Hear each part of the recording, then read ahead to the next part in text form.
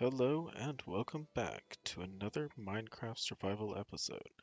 This is episode 2 and today we are starting things out on top of the farm that we built in the last episode. This is the acacia farm that we finished up and today we are actually going to go into the nether to check out a farm that I worked on in between episodes. Alright, so here we are in the nether. We have built a wither skeleton farm here. Uh, this is the spot that I described in the world tour of where we were going to build the wither skeleton farm. And I have it created. So we've got three spawning platforms with flying machines that push them off into the middle.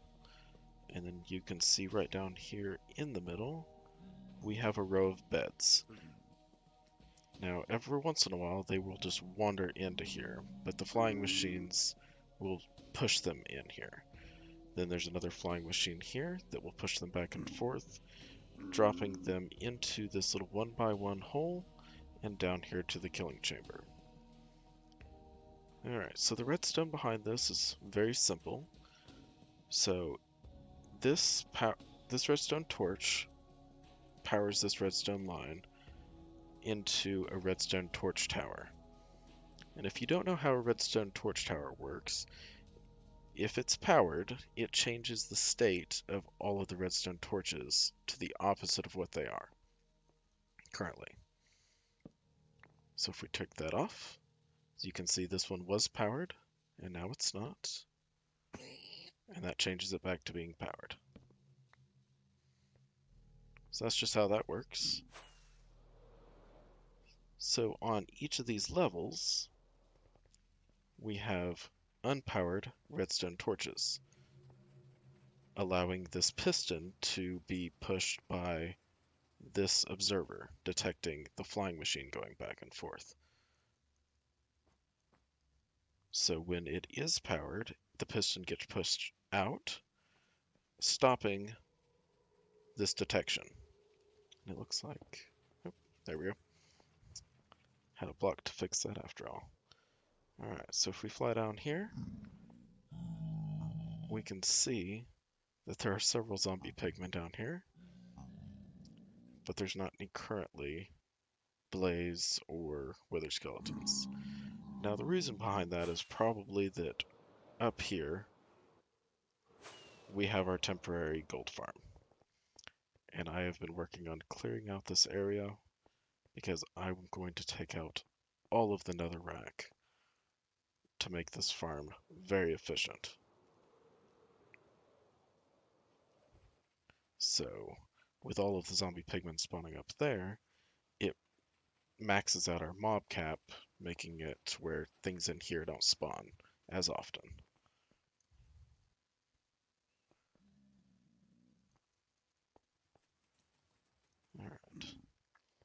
So next, we will be building up a little building to protect us from ghasts that spawn in neighboring areas, making sure that our redstone and we don't get blown up. Just below here, we are going to put in some hoppers and put in a sorting system to be able to collect all of our goodies. Our gold, our wither skeleton skulls, coal, blaze rods, this farm will produce many things that the nether has, which will be very nice for beacons, and I'll use the coal for our super smelter. Alright, so I'm going to get started on the building and the collection area, and I will be back. Alright, well before I get started on that building down there, I think we're going to need some birch wood. Because what I think I'm going to do is pair this stripped birch with the white stained glass that I've already got down there. Because I think that looks pretty nice. So we are going to use this farm to get all of our wood.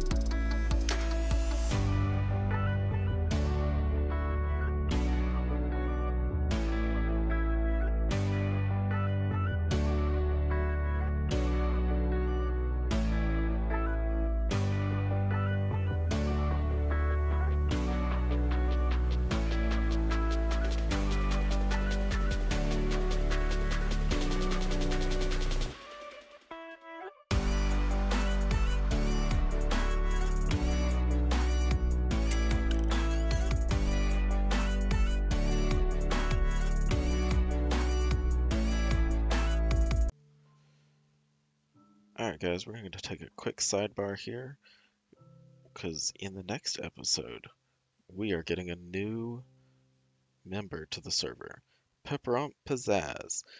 He will be a YouTuber, so be looking for his videos. I will be posting them in the description. And right here, we have built a nice big present in the spawn chunks. So when he gets online, he gets to unwrap his present. I've put a couple of shulker boxes in there of goodies that we will be showing off in the next episode as well. And I hope you guys like it, and I hope he does as well.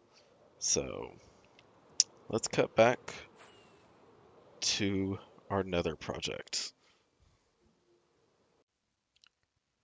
Alright, and we are back. We've got the entrance and the building for this kill chamber completely finished. Um, I have not gotten to the storage that I'm planning on putting right down here. Uh, I've got to do some testing in a redstone testing world and to figure out exactly how I'm going to get this done. So, but while I've been building this, I've had this farm running and we have some loot, not a whole lot because we still have tons of spawning spaces in this area, but we've already got two wither skeleton skulls, so this farm is already working very well for that. So I will get out of here and I will continue this building and doing the collection area right down here in the next episode. This has been Buggyhoser, and thanks for watching. Goodbye!